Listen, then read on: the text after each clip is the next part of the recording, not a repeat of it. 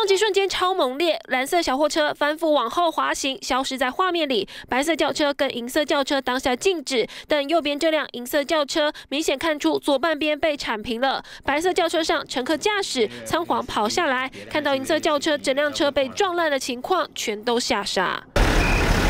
夸张的是，小货车竟然是半个车身陷进了田埂中，银色轿车车身凹进去，车上三十四岁新著名女驾驶头部重创，送医伤重不治。目击民众指控，白色轿车从巷子里冲出来，从头到尾没减速。白色的对向啊冲出来了，货车跌落，啊个个去喷货车喷了这些，啊问他问车主，他说他在路口有刹车了，可是掉监视器没有刹车。新港乡民代表也在脸书 po 文，指控肇事的白色轿车驾驶是水利署勘查人员，而且当时不止一辆车。车祸后，其他同行车辆却马上离开现场。有要做一个蓄洪池啦，嗯，哦，啊，这应该是勘查，啊，但是应该是路况不顺吼，嗯，为这条路啊出来是塞紧。